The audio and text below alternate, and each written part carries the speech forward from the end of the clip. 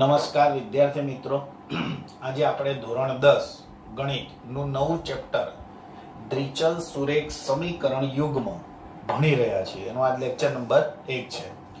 આની પહેલા આપણે ચેપ્ટર નંબર બે એ પણ પૂરું કર્યું છે એટલે એના આધારે થોડું છે. તો એ આગળવાળું ચેપ્ટર જો રિવિઝન કરી લેશો, તો આ ચેપ્ટરની અંદર ભણવાની મજા આવશે. તો આજે આપણે નવું ચેપ્ટર શરૂ કરી રહ્યા છીએ જો વિદ્યાર્થી મિત્રો, તમે આપણા લેક્ચર જોતા હોય, ગમતા હોય, તો લાઈક કરો સબસ્ક્રાઇબ કરો અને બાજુમાં આપેલા બે લાઇકનને પ્રેસ કરો. હવે આપણે આજે નવું ચેપ્ટર શરૂ કરીએ. દ્વિચલ સુરેખ સમીકરણ યુગમાં. તો, સૌથી પહેલા તો કે આપણે દ્વિચલ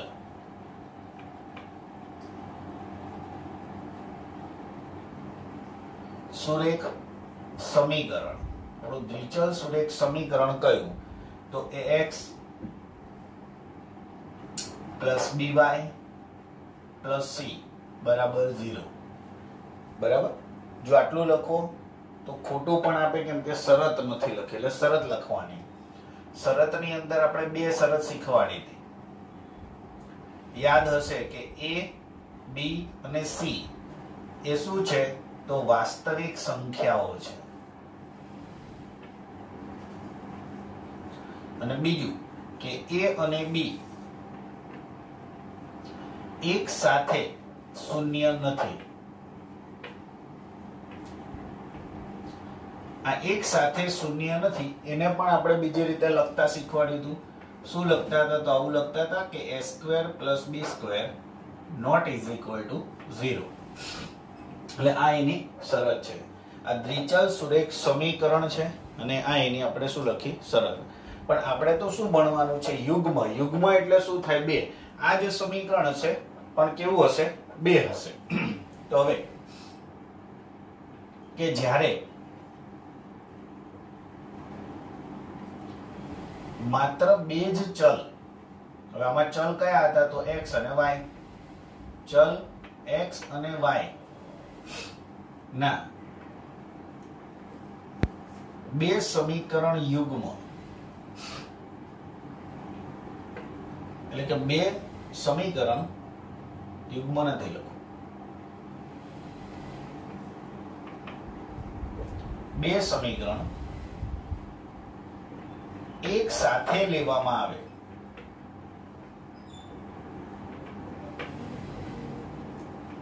ત્યારે તે જોડને દ્વિચલ સમીકરણ યુગ્મ કહે છે. દ્વિચલ સુરેખ સમીકરણ યુગ્મ કહે છે. એટલે આમાં શું કે બે ચલ x અને y જ હોય. આની અંદર પણ x અને y છે. એવું બીજું પણ x અને y જ સમીકરણ હોય. અને એમાં જ્યારે બે એક સાથે લેવામાં આવે ત્યારે એને દ્વિચલ સુરેખ સમીકરણ યુગ્મ કહે છે. હવે, કે તેનું વ્યાપક સ્વરૂપ, તેનું વ્યાપક સ્વરૂપ. ચાલો બે સમીકરણ છે, એટલે આપણે જો હું બંનેની અંદર આવું જ લખું છું કે x plus b y plus c બરાબર ઝીરો. પણ અહીંયા ચલ એક્સ વાય છે, એટલે આપણે આને શું કરીએ છીએ? વન વન વન એટલે કહેવાય શું? A one x plus b one y plus c one બરાબર ઝીરો એવું ને એવું બીજું શું લઈશું? તો a two x plus b two y plus c two બરાબર ઝીરો લેવાય. હવે આ બંનેની શરત તો ખબર પડી ગઈ કે આ ઉપર જે શરત હતી એ લખવી પડશે તો આપણે એ પણ લખી નાખો. કે a one b one c one a two b two c two આ બધી શું છે તો કે વાસ્તવિક સંખ્યાઓ છે. ચાલો, એના પછીની શરત હોય તો આની શરત કઈ છે તો કે a one square x plus b one square not is equal to zero આની શરત કઈ થાય તો જેમ લખ્યું તેમ a two square plus b two square not is equal to zero એટલે ટૂંકમાં આપણે જે સમીકરણ જોતા છે એ સમીકરણ આવી ગયું પહેલું આ. અને બીજું આને શું કહેવાય તો કે દ્વિચલ સુરેખ સમીકરણ યુગ્મ. બરાબર? હવે આપણે શું કરશે? આલેખ દોરવાનો છે. હવે સુરેખ સમીકરણ તમને ખબર, એનો આલેખ હંમેશા રેખા આવે. એટલે આનો આલેખ દોરીશું તો કોઈક રેખા મળે. આનો આલેખ દોરીશું તો પણ કોઈક રેખા મળે. તો આ રેખાઓ આલેખ પત્રની અંદર છેદશે કે નહીં છેદે? અથવા બીજી કોઈ શક્યતા છે કે નહીં? તો એ પ્રમાણે આપણે એની એના પ્રકાર પાડવાના છે. તો એવું કહેવાય કે આના ઉપરથી આલેખ દોરો.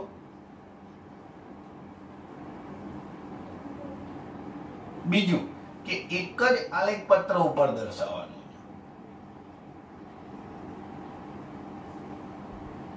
એક જ આલેખ પત્ર પર દર્શાવો. એટલે આ બંનેનો આલેખ દોરવાનો અને એક જ આલેખ પત્ર ઉપર દર્શાવવાનું. એટલે આપણી પાસે શું થશે તો કે ત્રણ શક્યતાઓ બનશે. કેટલી શક્યતાઓ બનશે? ત્રણ શક્યતાઓ.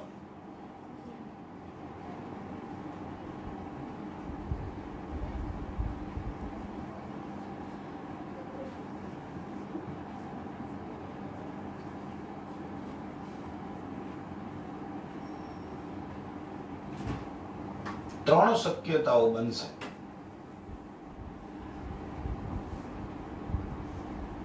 ચાલો કે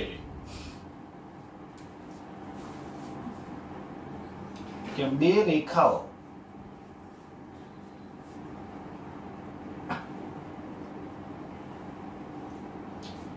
એક જ બિંદુમાં છેદશે. એટલે બે રેખાઓ એક જ બિંદુમાં છેદે. બીજી શક્યતા.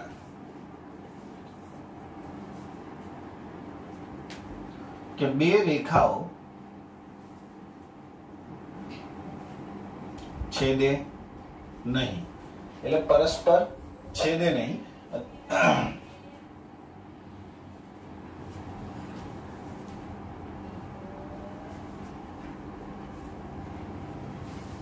ચાલો, અહીંયા છે બે રેખાઓ. એટલે કે બંને જે આલેખ હોય ને, બંને આલેખ એક જ રેખા દ્વારા દર્શાવવામાં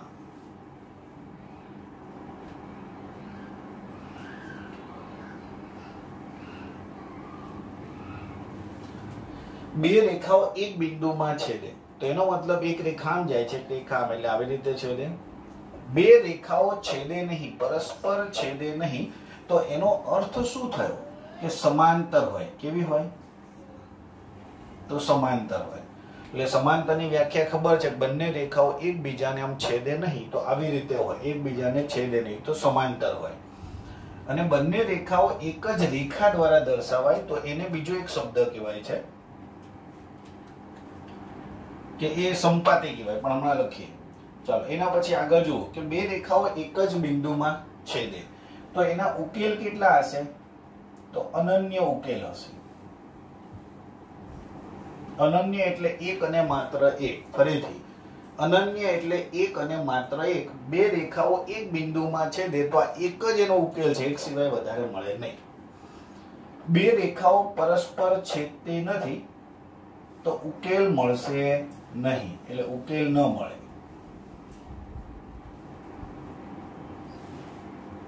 અને અહીંયા અનંત ઉકેલ મળે. અનંત ઉકેલ એટલે ગમે તેટલા ઉકેલ મળે.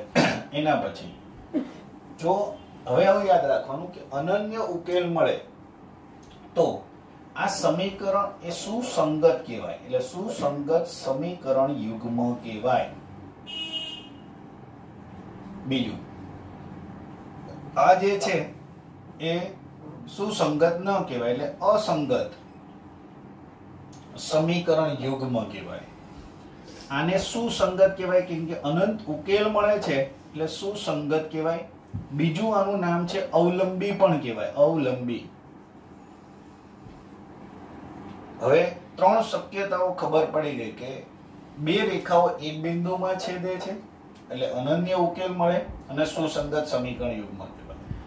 બે રેખાઓ છેદે નહીં એટલે કે એનો મતલબ એવો આમ સમાંતર હોય, ઉકેલ ન મળે અને અસંગત કહેવાય, એટલે સુસંગત ન કહેવાય.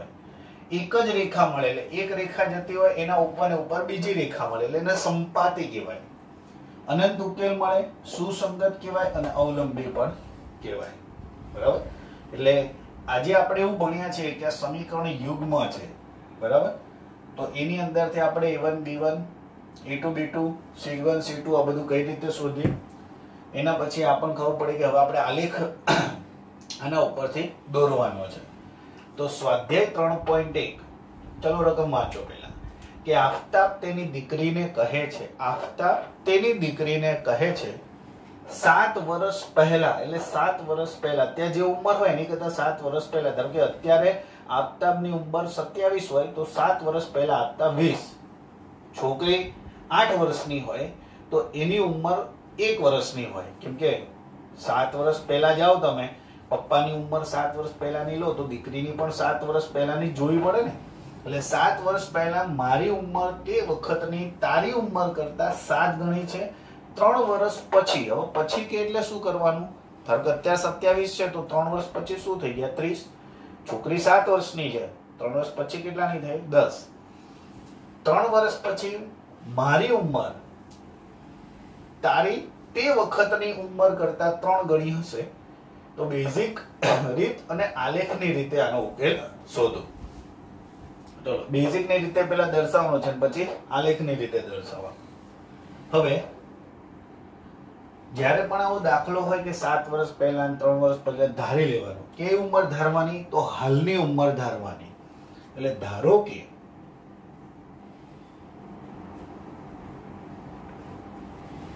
ધારો કે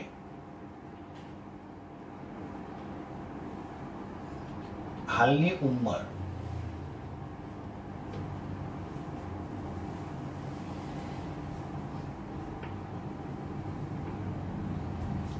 આફતાબની ઉંમર કેટલી ધારીએ? તો એક્સ વર્ષ. એની દીકરી હોય.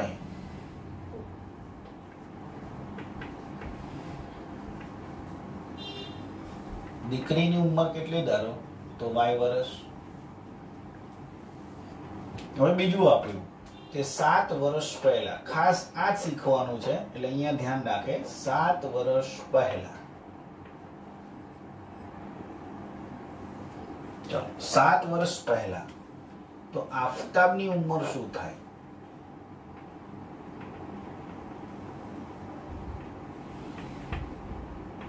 અને એની દીકરીની ઉંમર શું થાય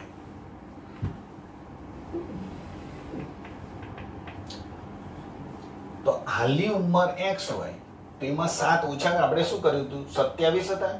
તો સાત ઓછા કર્યા તો વીસ આવે તો વીસ કઈ રીતે આવે તો હાલની ઉંમરમાં સાત ઓછા કરવાના. હાલની ઉંમર એક્સ એમાંથી સાત ઓછા કરો. દીકરીની હાલની ઉંમર વાય તો એમાંથી સાત ઓછા કરો. બંનેની પાછળ વર્ષ લગાવી દો, કેમ કે વર્ષ છે, ઉંમર વર્ષમાં. થઈ ગયું? બરાબર? હજુ આવું ને આવું આપણે શોધી નાખીએ. કે ત્રણ વર્ષ પછી. ત્રણ વર્ષ પછી આફતાબની ઉંમર.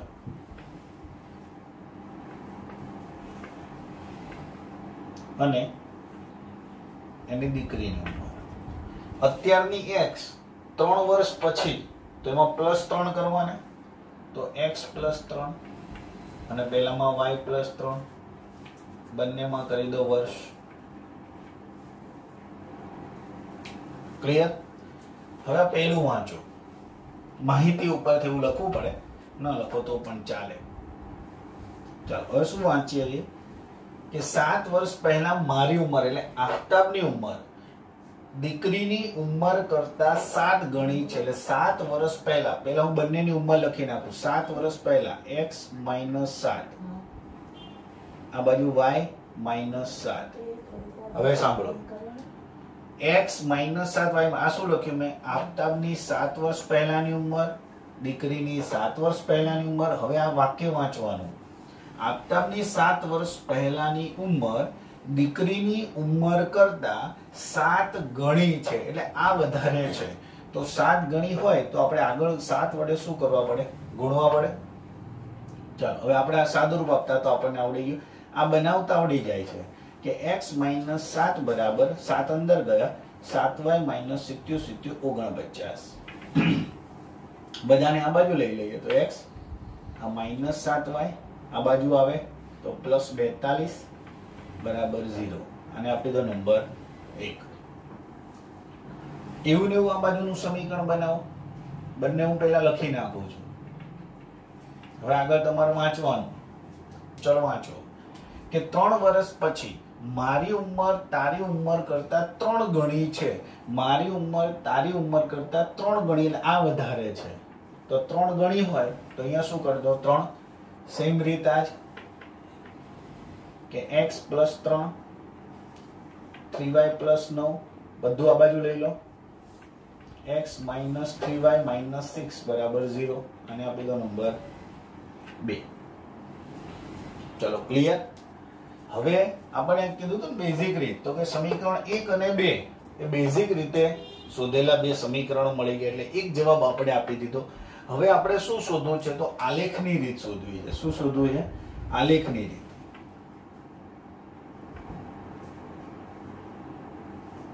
આલેખની રીત માટે શું કરાય? તો આપણું આ સમીકરણ લઈએ કે એક્સ માઇનસ સાત વાય પ્લસ બેતાલીસ, બરાબર ઝીરો. આની અંદર આપણે વાયને કરતા બનાવો છે. વાયને કરતા એટલે શું? તો આજુબાજુમાંથી બધાને કાઢવાના. તો આમાં શું કરીએ આપણે? આ સાત વાય માઇનસ છે હું સામે લઈ લઉં. તો સાત વાય સામે ગયા. એટલે સાત વાય બરાબર એક્સ પ્લસ બેતાલીસ. તો લખું. સાત વાય બરાબર એક્સ પ્લસ બેતાલીસ. આ સાત આના છેદમાં આપી દો. તો એક્સ પ્લસ બેતાલીસ છેદમાં સાત. આ મળી ગયું. ચલો, એવી જ રીતે આપણે આનું લઈએ કે x minus three y minus six બરાબર ઝીરો થ્રી વાય પેલી બાજુ જતા રહ્યા, એટલે આવું લખાય કે થ્રી વાય બરાબર એક્સ માઇનસ સિક્સ જો સમજો આ માઇનસ છે ખાલી પેલી બાજુ ગયા. એટલે પ્લસ થઈ ગયા, એટલે થ્રી વાય બરાબર એક્સ માઇનસ સિક્સ તો લખ્યું છે, આ થ્રી છેદમાં આપી દો.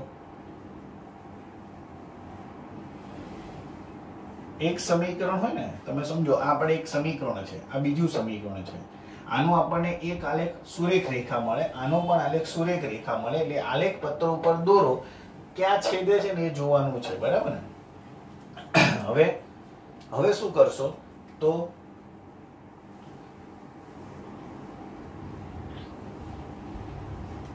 આવી રીતે આપણે x અને y ની જુદી જુદી કિંમતો અંદર મૂકવાની.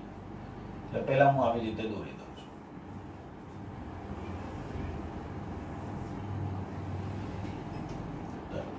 પહેલા અહીંયા લખીશું એક્સ અહીંયા વાય અહીંયા એક્સ અને અહીંયા વાય હવે સાંભળો. અહીંયા હું એક્સની કઈ કિંમત મૂકું? બરાબર? કે સાત વડે ભાગાકાર ચાલવો જોઈએ. હવે જો ખબર છે, સાત છંગ બેતાલીસ થાય છે. તો હું એક્સ બરાબર ઝીરો મૂકી દઉં. ઝીરો પ્લસ બેતાલીસ છેદમાં સાત એટલે બેતાલીસ ના છેદમાં સાત વધે. તો સાત છ બેતાલીસ. તો મને આનો જવાબ શું મળી જાય? છ. હવે અહીંયા ધારો કે હું એક ન મૂકું, શું કામ? તો તેતાલીસ ભાગ્યા સાત કરીશ, તો પોઈન્ટમાં જવાબ આવે. પોઈન્ટમાં નથી લાગવો. તો આપણે એવી કિંમત, ધારો કે હું જો સાત મૂકીશ, તો સિત્યોતેર સાત મૂકીશ, તો બેતાલીસ પ્લસ સાત એટલે ઓગણપચાસ. સાત વડે ભાગ ચાલે. બરાબર? તો હું ધારો કે અહીંયા સાત મૂકું છું. વાયની એક્સની જગ્યાએ મેં શું મૂક્યા? સાત. પછી આનું સાદુરૂપ એક જો એક આપી દઉં છું. કે વાય બરાબર એક્સ પ્લસ બેતાલીસ છેદમાં સાત. અહીંયા હું શું મૂક્યા મેં? સાત. તો બેતાલીસ ને સાત કેટલા થયા? ઓગણપચાસ, સિત્યુ સિત્યુ, ઓગણપચાસ. એટલે વાય બરાબર જવાબ શું મળ્યા? સાત. તો અહીંયા શું મૂકી દો સાત.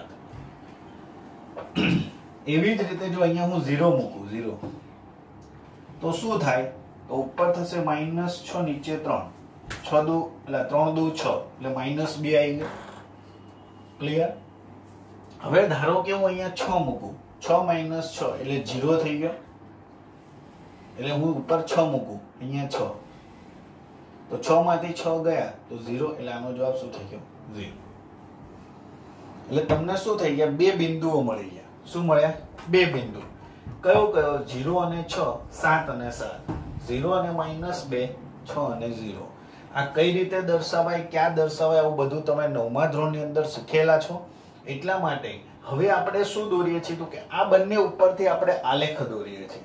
એટલે હમણાં હું આલેખ દોરીશ, એ આલેખ ઉપર આ બિંદુ ક્યાં છે, એ દોરવાના છે. એના ઉપરથી સીધી લાઈન દોરવાની, એટલે સીધી રેખા દોરવાની અને બે ક્યાં છેદે છે એ ધ્યાન રાખવાનું. આપણે આલેખ દોરીને કરવાનું શું? ક્યાં બે છેદે છે એટલે ટૂંકમાં આપણને છેદ બિંદુ જોઈએ છે. ચાલો આગળ હવે. આપણે અહીંયા સુધી ગણી લીધું કે ભાઈ બંનેના આલેખ ઉપરથી આપણે એક્સ અને વાય એની જુદી જુદી કિંમતો આપણે શોધી. હવે આપણે આલેખ પત્ર ઉપર દર્શાવવું છે. આલેખ પત્ર આપણે દોરીને આપ્યો છે કે આને એક્સ કહેવાય તો આ બાજુ આપણે એક્સ ડેશ લખી શકીએ. આ વાય છે તો વાય ડેશ લખી શકીએ. બીજું કે અહીંયા જે બિંદુ આવે એના અહીંયા પ્લસ પ્લસ હશે. અહીંયા ત્રીજું ચરણ કહેવાય. એમાં માઇનસ માઇનસ અહીંયા માઇનસ પ્લસ અને પ્લસ માઇનસ આવે. હવે તમે સમજો કે જીરો અને છ આપણે શું કરીએ છીએ? પહેલું જે સમીકરણ છે, એનો આલેખ દોરીએ છીએ, એટલે ઝીરો અને છ ક્યાં આવે? તો આપણે નવમા ધોરણમાં પણ આવું શીખેલા છીએ અને દસમામાં પણ આપણને ખબર જ છે કે જો એક્સિયમ ઝીરો હોય તો બિંદુ વાય અક્ષ ઉપર આવેલું હોય. એક્સિયમ ઝીરો, બિંદુ વાય અક્ષ ઉપર. વાયમ ઝીરો, બિંદુ એક્સ અક્ષ ઉપર. અહીંયા એક્સિયમ ઝીરો એટલે બિંદુ વાય અક્ષ ઉપર આવેલું હોય. વાય અક્ષ ઉપર તમારે છ શોધી લેવાના. ધારો કે છ અહીંયા છે. તો એક બિંદુ આ મળી ગયું. ચાલો બીજું બિંદુ સાત અને સાત. હવે એ ખબર છે કે આ ચરણમાં આવશે, બંને પ્લસ છે. સાત જુઓ, આ પાંચ છે એટલે છ અને સાત અહીંયા બાજુથી આ તમારે અહીંયા લાઈન ઊભી જતી હશે આમ આલેખ પત્રની અંદર. ને આ સાત વાળી લાઈન અહીંયા આવે, એટલે ધારો કે એક બિંદુ અહીંયા મળી ગયું. બે મળી ગયા. આ બંનેમાંથી જોડતી એક રેખા દોરવાની લાંબી. ચાલો, એટલું દોરીને આપણે રેવા દઈએ. પછી આ આલેખ દોરીએ. કે ઝીરો અને માઇનસ બે. ફરીથી એક્સિયમ ઝીરો હોય તો બિંદુ વાય અક્ષ ઉપર આવેલું હોય એટલે વાય અક્ષ ઉપર માઇનસ બે જોવાનું. માઇનસ બે ક્યાં આવે? તો કે અહીંયા આવશે. તો આ જોઈ લો. બીજું છ અને ઝીરો ફરીથી કે વાયમ ઝીરો છે, તો બિંદુ એક્સ અક્ષ ઉપર આવેલું હશે એટલે છ ક્યાં આવતું હશે? તો કે આ સાત હતું, તો એની બાજુમાં અહીંયા ગમે ત્યાં શું આવતું હશે? છ આવતું હશે. એટલે જો આ આલેખ તમે આ રીતે દોરો, આનો આલેખ તમે આવી રીતે દોરો, તો બંને ક્યાંક તો છેદશે જ. આશરે આપણે દોરીએ.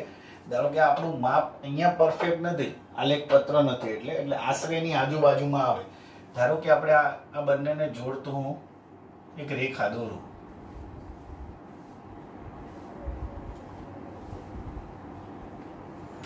આની અંદર ફૂટપટ્ટી તમારે લાંબી વાપરવાની થાય. બરાબર? ચાલો, હવે આ પણ એવી રીતે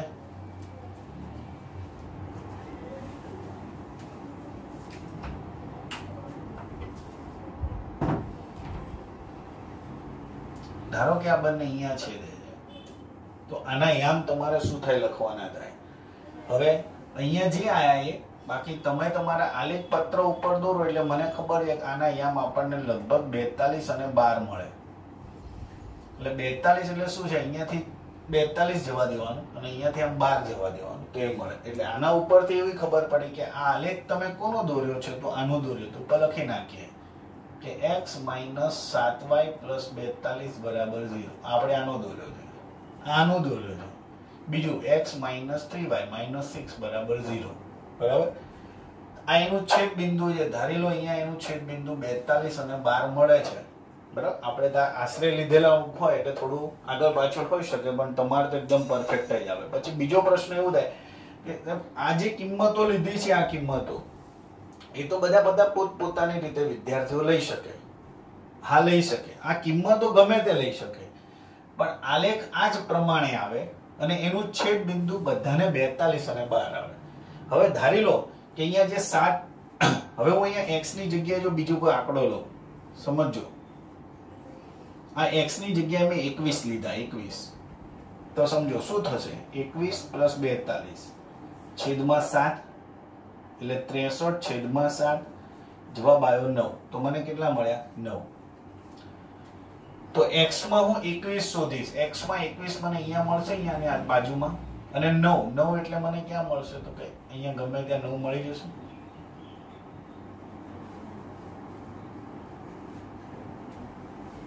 જો અહીંયા એક નવ અહીંયા. બરાબર. તો ત્રીજું બિંદુ, જો ધારો કે કોઈ વિદ્યાર્થીએ આ લીધું છે તો બિંદુ શું આવશે? આ જ રેખા ઉપર મળતા બિંદુ આવે. કોઈ અહીંયા સાંભળ, સમજ, એવું સમજી લો કે ભાઈ, સિત્તેર લીધા. બરાબર? જે સાત વડે ટૂંકમાં ભાગ ચાલતો હોય આંકડો લઈ લેવાનો.